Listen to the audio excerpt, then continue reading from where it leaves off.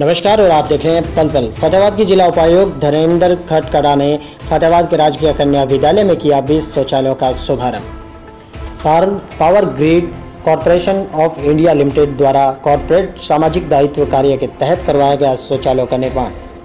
बच्चों को शौचालयों की समस्या के चलते काफ़ी परेशानियों का सामना करना पड़ रहा था। उपायुक्त का कहना है कि सरकारी और गैर सरकारी संगठनों से ली गई स्कूलों के इस कार्य में निर्माण कार्य करवाने की अपील। इसके अलावा डी प्लान के तहत बेटी बचाओ, बेटी पढ़ाओ अभियान के तहत भी किया गया पैसा खर्च। इसके अलावा 100 मीटर ब्लॉक मार्ग का निर्माण भी करवाया जा रहा है। शुभारंभ कार्यक्रम के बाद मीडिया से बातचीत करते हुए उपायुक्त ने कहा कि उनके द्वारा सरकारी और गैर सरकारी संगठनों से अपील की गई थी तथा कॉरपोरेट सामाजिक दायित्व के तहत बेटियों के लिए अधिक से अधिक कार्य करवाने के लिए भी कहा गया। ताकि सरकार द्वारा चलाए जा रहे बेटी बचाओ, बेटी पढ़ाओ अभियान को सार्थक परिणाम सामने आ सकें। उन्होंने कहा कि लंबे समय से स्कूल की छात्राओं को शौचालयों की समस्या थी, जिसके बाद आज इन शौचालयों का निर्माण कार्य करवाया गया है। बेटी बचाओ, बेटी पढ़ाओ अभियान के तहत छात्राओं की समस्याओं को दूर करने के लिए काफ़ी फंड दिया गया है। पल पल फतेहाबाद से राजेश बाबू की विशेष रिपोर्ट।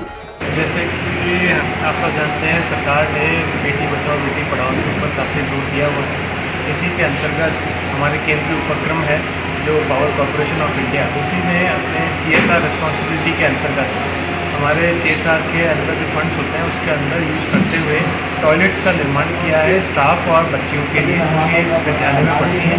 काफ़ी समय से टॉयलेट्स का निर्माण की ज़रूरत महसूस हो रही थी और पिछले वर्ष इस तरह का डिमांड भी इनको दी गई थी।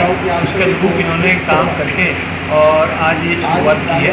और इसी तरह से आने वाले समय में भी हमने जितने भी सरकारी और गैर सरकारी कार्यक्रम हैं जो कि सी के अंदर काम करते रहते हैं उस सबको हमने ये ताकीद किया है कि हमारे बच्चियों के ऊपर ध्यान विशेषकर कोई भी चाहे शॉर्ट नंबर हो चाहे आपका हाइजीन के लिए हो, चाहे और किसी के लिए हो तो सबके लिए वो अपनी तरफ़ से सी के अंदर फंड मिला जैसे कि स्कूल में काफ़ी बच्चियाँ हैं और उन सबको ध्यान में रखते हुए हमने कई डी प्लान से भी फंड किया है। इस साल भी हमने डी प्लान से शेड के लिए भी फंड दिया ताकि जो में बैठती हैं।